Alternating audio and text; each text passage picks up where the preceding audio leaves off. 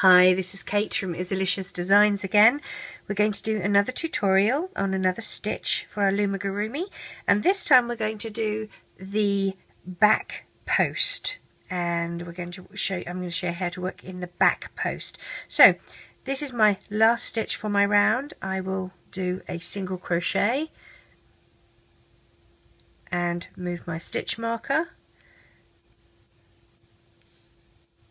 and we will work in the back post. Now, for the front post, we came in through the front and out through the back for the, the next stitch.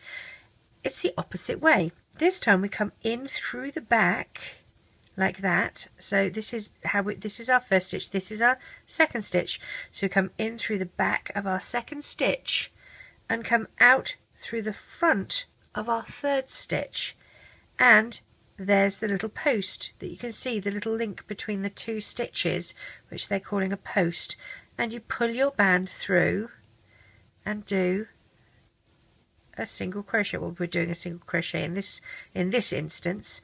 And again push through pull your band back. So this way we're working in the back post.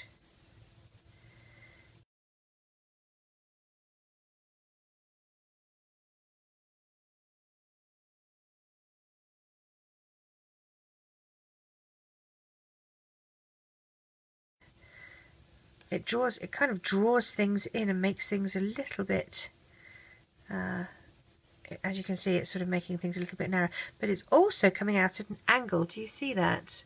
Which is quite important. So if you're doing this for like a hat, again, this is another way that you could do the brim of a hat or the peak of a cap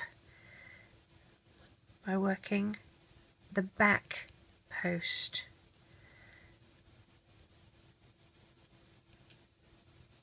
It's just another stitch to add to the arsenal of stitches that you're going to have here.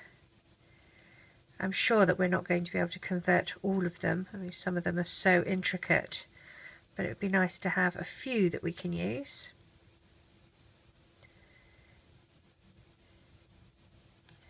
Especially when we're trying to follow crochet patterns and they might ask for something like this. In a crochet pattern, the abbreviation for this would be um, a BP back post, obviously.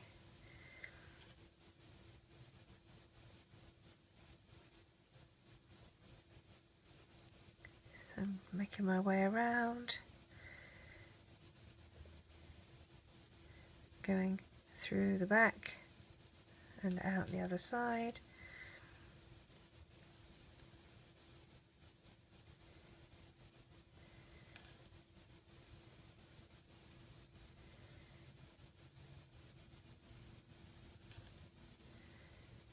So instead of working those inside stitches, the top stitches here,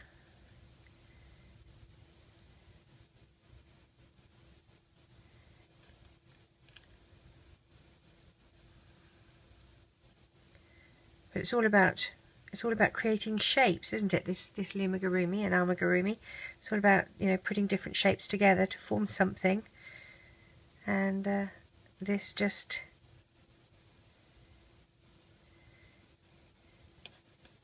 does that in a new way. Carefully getting there. So I'll show you what this looks like when we're done.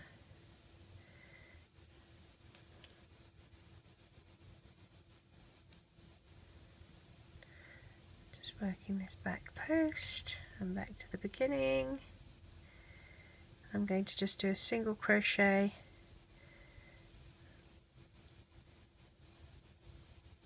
Gosh, if I can get my stitch marker out of the way. I'll do a single crochet in red and move my stitch marker. So this is how it would look. So it's sort of brought it in a little bit, as you can see. So that'd be quite good. Um, because then our next round it would come out again.